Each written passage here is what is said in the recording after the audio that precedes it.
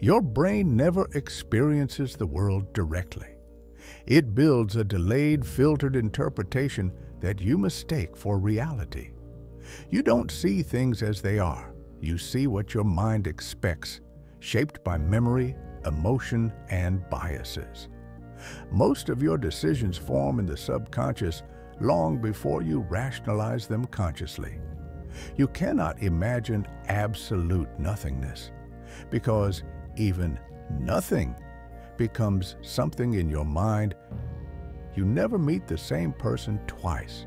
Everyone changes slightly with every new experience, including you. What we call free will may be just the brain predicting and choosing before we become aware of it. Every time you recall a memory, you change it slightly, rewriting your own past.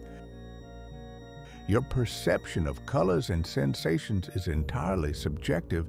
You'll never know how others truly experience them. Time is experienced psychologically, not physically, which is why a minute can feel like an hour or disappear instantly. Only you will ever experience your life from your perspective, making your consciousness utterly unique.